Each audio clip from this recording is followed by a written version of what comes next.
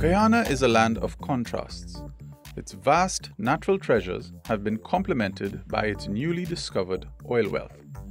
But to build a new country, especially from an underdeveloped one, a new attitude is necessary. And Andrew Mendes believes he has just the one. The first thing is, you know, a lot of times I'll go into sawmilling operations, logging operations, timber business, and a lot of sectors in Guyana in terms of even how businesses are run and you try to get to the heart of, okay, why do you do this this way or why do you do things a certain way? The scariest answer for me has always been, it's because we've always done it that way.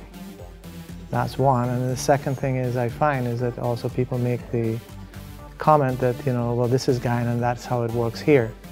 You know, for me, that's consigning ourselves to mediocrity. Mendes inherited a small family business which sold chainsaws and logging tools to the timber industry in the early 1990s. He soon transformed it in size and expanded into logging. He was able to bring change to a business that many thought was impervious to change. The type of blade that we use on the sawmills increases the efficiency. So the blade that we actually use here, our company actually developed that blade profile and then got Wood-Mizer to make it. And then what happened is they found that it doubled the sharp life and increased production by 50% even in the US. So now it's become actually their second most popular selling blade in the US. But Mendes's ideas of business profit go beyond financial gains. His innovations are aimed at conservation as much as extraction. He has written a book on logging and a code of practice for the local industry in cooperation with international agencies like the EU Forestry Commission. A lot of people look at economics and the environment as two mutually exclusive domains, when in reality they're actually complementary. Farfan and Mendes implemented a shift in the paradigm. The Guyana Forestry Commission and Guyana as a whole has entered into European Union forest law enforcement, governance and trade. This provides opportunities for Guyanese timber to enter into new markets, particularly in Europe, where higher prices than in the Caribbean and other markets are available. So the kind of initiatives that Andrew is taking on board and is pushing is where the country would like to go. Andrew's company has been able to put the practices that are done by operators throughout Guyana at an international level. But he was constantly searching for opportunities, and two came from his family. His father was interested in solar power, so he invested in that. And his brother, Alex's talents, came into play when an opportunity arose to use the family's estate, Dubulay, for agriculture. In April 2005, um, I moved back to the farm, and this was because we got an investment from Stine Seed uh, to do corn and soybean seed, you know, breeding.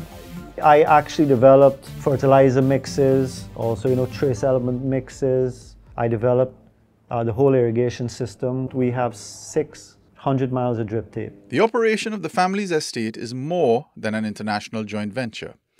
It provides opportunities for the residents of the community, mainly women. It has given opportunities for 100, up to 140 people from the community to work on the land. It gives them steady income year on year. You know, they have, um, they pay NIS, so, and they also have private health insurance so that they, for them and their families. We employ a significant number of women in the operation here. And that sort of fits in with Farfan and Mendes as a whole, in that over 50% of the uh, managers in the company are women.